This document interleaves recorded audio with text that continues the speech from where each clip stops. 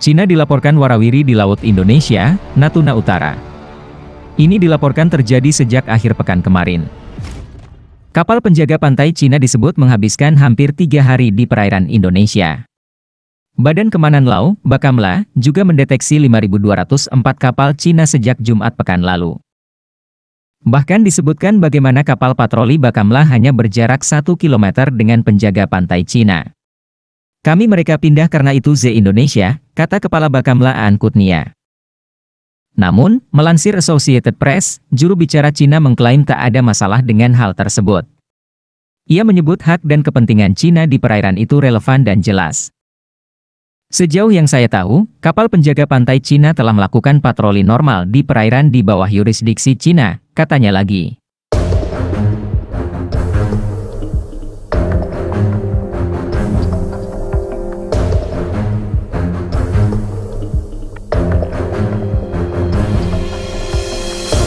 Natuna bagian utara berada dekat Laut Cina Selatan, LCS.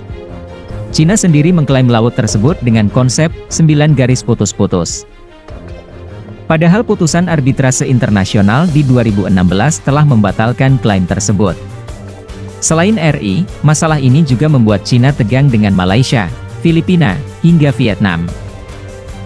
Sementara itu kepada wartawan Komandan Armada Barat Angkatan Laut RI Arsyad Abdullah mengatakan patrol sudah ditingkatkan di sekitar Natuna.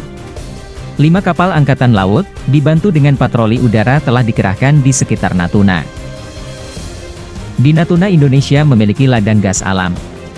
LCS sendiri menyumbang 10% dari tangkapan ikan global dan mengundang banyak negara sekitarnya untuk masuk.